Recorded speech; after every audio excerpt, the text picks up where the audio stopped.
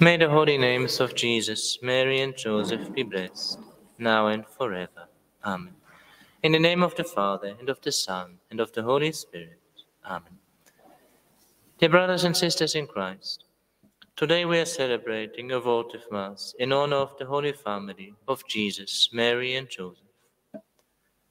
Often in our family and in our spiritual life, we have some suffering to endure. St. John Chrysostom tells us we must expect temptations and dangers from the very first days of our lives. Consider, in fact, that immediately from the cradle, this happened to Jesus. He had just been born, and the tyrant's fury was already unleashed against him and forced him to seek to escape to a place of exile. And his mother, so pure and innocent, was forced with him to flee to a foreign country. This shows you that when you have the honor of being engaged in some ministry or spiritual service, and see yourself surrounded by infinite dangers, and forced to endure cruel misfortune, you should not be upset. This example, therefore, urges you to endure misfortune firmly, and makes you aware that this is usually the fate of spiritual men, to have, that is, as inseparable companions, trials, and tribulations. So St. John Chrysostom. It is thus more than convenient and expedient for us to contemplate this holiest of all families who ever lived on this earth. The Holy Family, as the name itself suggests, is holy. Holy because each of its components is holy. The child is holy by nature the mother is holy by privilege, and Joseph is just by grace.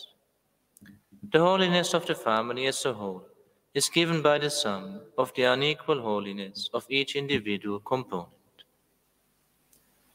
The Roman Martyrologium announces the feast of the Holy Family, saying, The feast of the Holy Family of Jesus, Mary, and Joseph, a most holy example for Christian families who invoke the necessary help.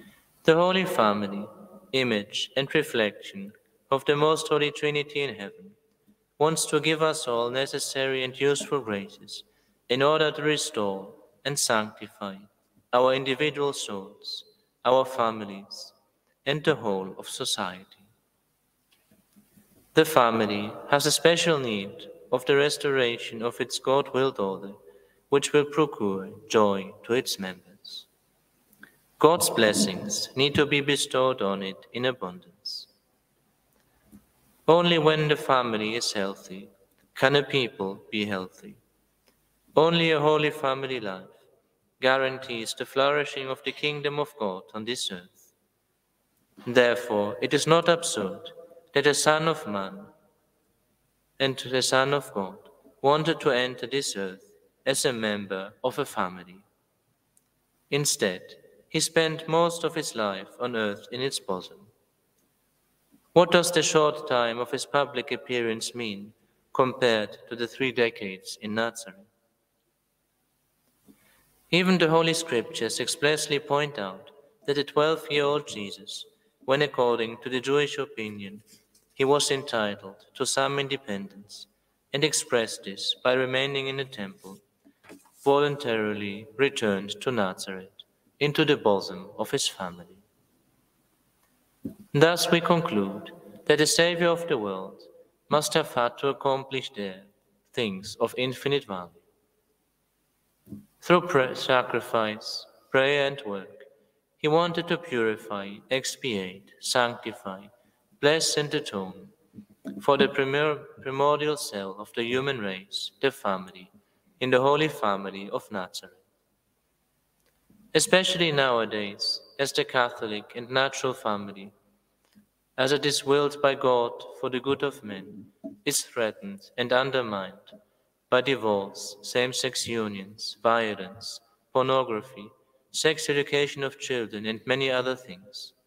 We need to turn to the Holy Family as a model to be imitated and as mediators to be invoked in order to obtain all the graces which we need. After the august Trinity in heaven, there is nothing so worthy of our veneration and love as the lovable Trinity on earth Jesus, Mary, and Joseph. After the three divine persons, there is no one to whom we are more indebted than Jesus, Mary, and Joseph. Finally, after the three divine persons, there is no one we ought to invoke with more trust than Jesus, Mary, and Joseph.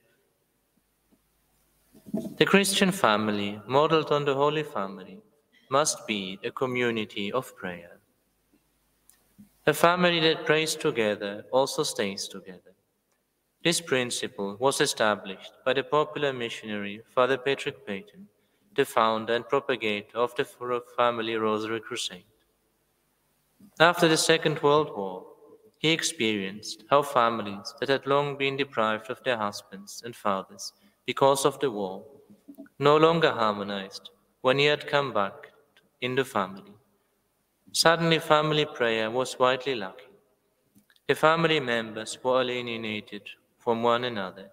They no longer understood each other. They no longer prayed together. So Father Peyton began to promote the Rosary, to be prayed together. It was a great success. A true popular movement was born. People did respond to his suggestions and began to pray. The parents together, the parents in front of the children, with the children. His efforts were greatly acknowledged by families, one of which says, Since we again prayed together, peace and harmony has returned to our marriage and to our family. Father Peyton, in his crusade for the family rosary, pointed out the example of the Holy Family, which was a community of prayer in the most beautiful sense of the word. If prayer is rightly called a pious conversation with God and the saints, then every conversation between the members of the Holy Family was in fact an unceasing prayer.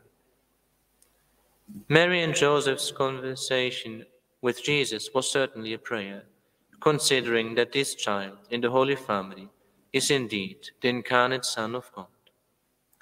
And the speech of the child Jesus to Mary and Joseph was certainly also prayer, since prayer is also a conversation with the saints, and Mary and Joseph are without doubt the greatest saints who ever passed over earth.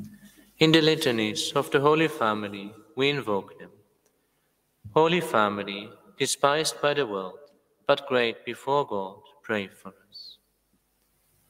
Even if we Catholics, who hold firm to the true doctrine, as it is revealed by God, taught by the Church and by the saints, are despised and ridiculed, we want to confidently entrust and consecrate ourselves and our families to this Holy Family, so that they may pray and intercede for us and help us to convert and restore our own spiritual life and that of our families. May the holy names of Jesus, Mary, and Joseph be blessed, now and forever. Amen. In the name of the Father, and of the Son, and of the Holy Spirit. Amen.